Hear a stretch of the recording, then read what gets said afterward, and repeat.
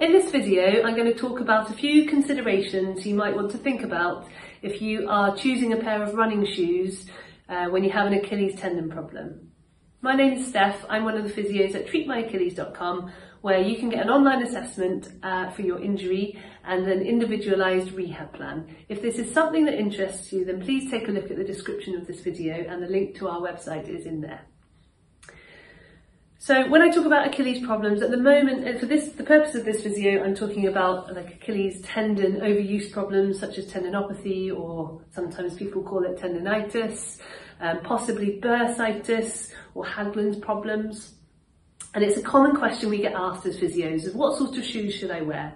And the first thing I will say is if you have a problem, rather than just changing your shoes, you probably should get someone to look at it because there might be something very simple that you can do that will help sort it out. And the sooner you sort it out, the quicker it gets better. If you try and do things that don't work for longer, then it takes longer to get better. So get it sorted as quickly as possible.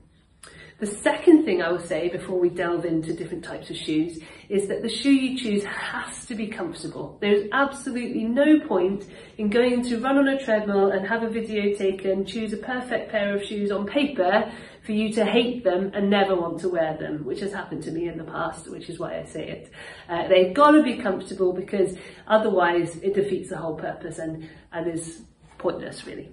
Anyway, so now we'll talk about the drop, the the millimetres of heel to toe drop that you'll see a lot of information about when you're looking at a pair of running shoes.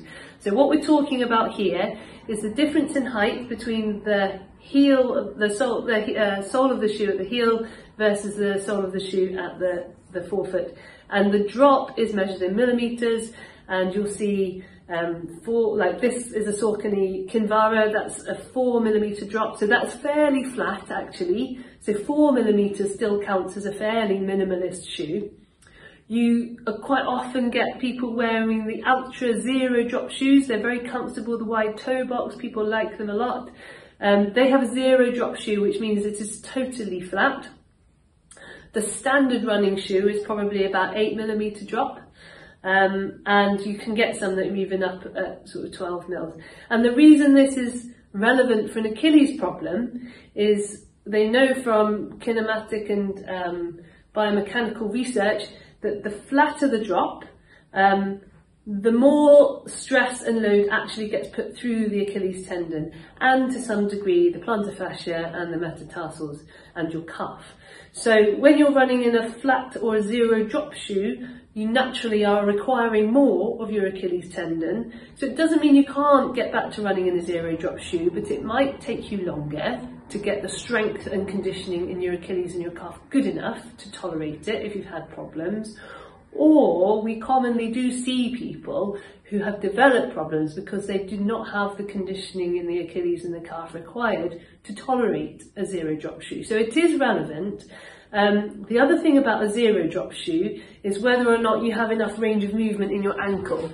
So for someone who has a very stiff ankle um, and can't passively dorsiflex it very far, you might actually be better with a little bit of support to compensate for the fact that the ankle is stiff. For someone who has lots of range of movement, then you probably can tolerate a zero drop shoe just fine.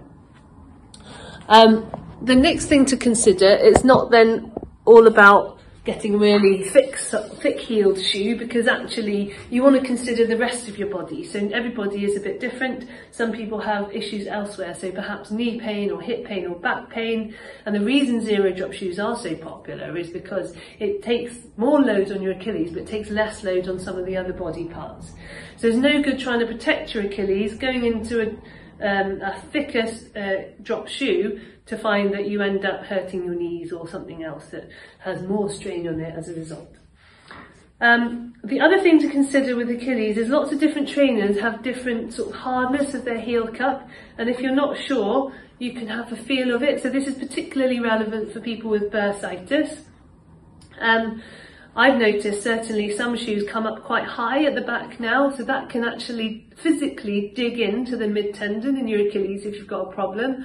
And then sometimes it's quite, especially if shoes get a bit worn out um, and are starting to come apart a little bit, you can get hard areas uh, develop in the heel cup which can physically dig into the insertion area or they can just it can be stiff and squeezing on the area, causing friction on the area. So if there's like an actual physical reason that the area is getting irritated, then that obviously needs to change. And the final thing I would say about um, if you put, for instance, some heel lifts into a trainer to try and increase that drop and offload the Achilles, it can just push the heel up into the wrong bit of the shoe. So just watch out for that in terms of rubbing around the insertion as well.